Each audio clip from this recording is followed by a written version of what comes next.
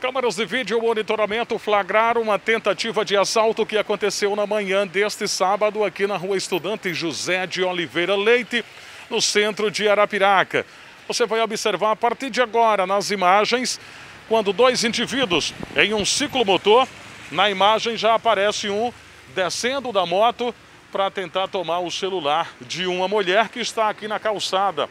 Ela era cliente de uma das lojas aqui desses estabelecimentos.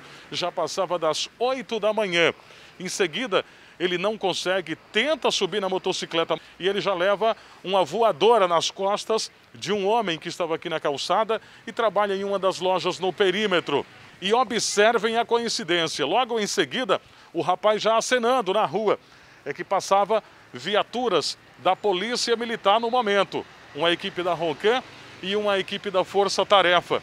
E aí eles iniciam a perseguição a esses dois indivíduos que foram interceptados já no bairro Primavera. Foram presos. Na imagem seguinte você vê os dois já detidos em cima da carroceria da caminhonete, parado aqui nas proximidades.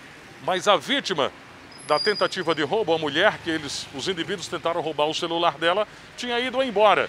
Não tinha mais aqui a vítima para proceder contra os indivíduos. Resultado é que os dois foram liberados. Isso porque o fato, o crime não se consumou, a vítima não estava no local para prosseguir com, enfim, com um boletim de ocorrência, algo desse tipo, e o resultado é que a polícia militar terminou liberando os dois. Fica o alerta para você que vem ao centro da cidade fazer as suas compras. As mulheres usar sempre a bolsa na parte da frente e se está com o celular na mão, é um chamariz para que esses indivíduos cometam ou tentem cometer este tipo de crime aqui na cidade de Arapiraca.